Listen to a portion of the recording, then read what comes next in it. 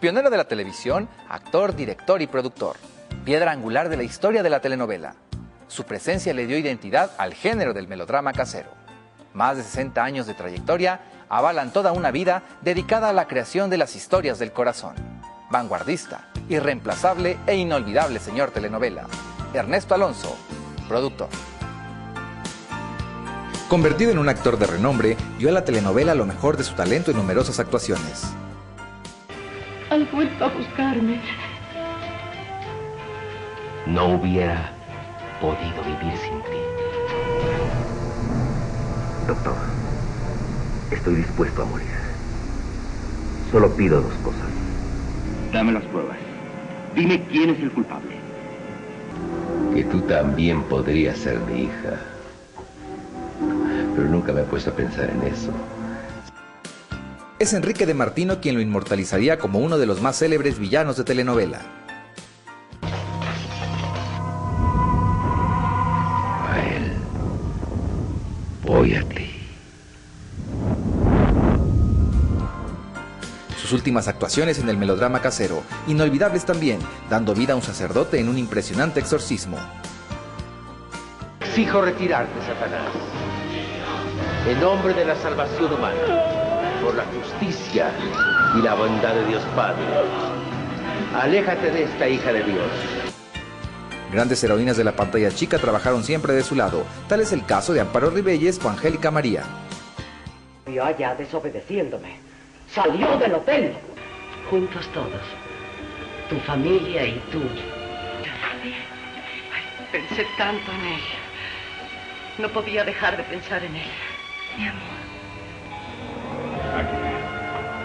Mi vida. ¿Me ves? ¿Me ves? A mí a ver a mi mamá. Mamá. Mamá, yo quiero mucho a ti. Yo tiene que ver a ti. Parejas inolvidables surgieron de las tramas que produjo atinadamente a lo largo de su trayectoria.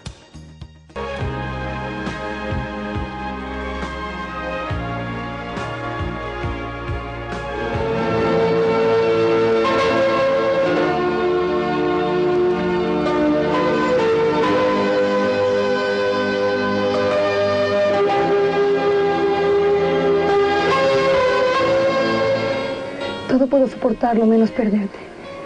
Estaremos unidos para bien o para mal, no me importa. Solo quiero que estemos juntos. Soy yo. Fue el primero en el mundo en darle rostro a la telenovela histórica, cuyas tramas iban de la mano de hechos reales e idilios ficticios. ¡Viva la América! Ejército necesita una bandera. No, Victoria. Solamente han recogido lo que sembraron. Tus abuelos. Yo sé que no es fácil aferrarse a una situación desesperada, y la nuestra lo es. La Constitución no se va a aplicar totalmente en poco tiempo. Esto es un proceso largo que llevará muchos años.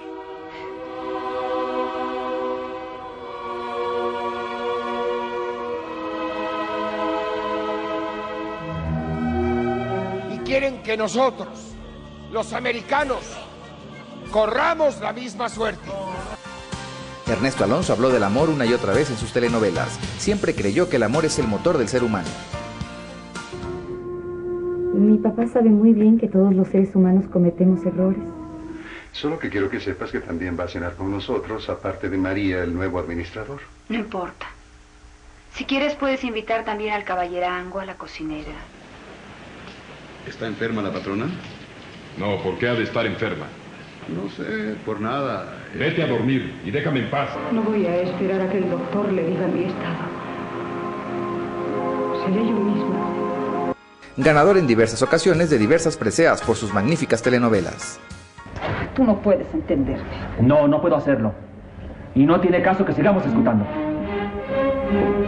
La certeza de lo que has hecho conmigo. ¿Qué hice contigo? Casarte sin amor. Estamos enamorados, Paula. Entiéndelo. Aunque se adoren, tú no me puedes dejar.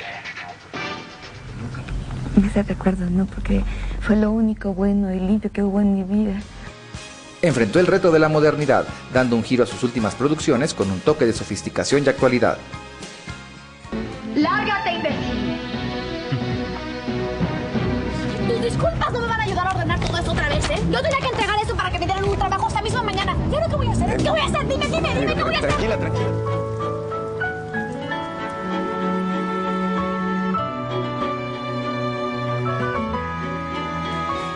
Ernesto Alonso renunció a su carrera de estrella fílmica sin imaginar que su nombre se inmortalizaría gracias al mundo de las telenovelas.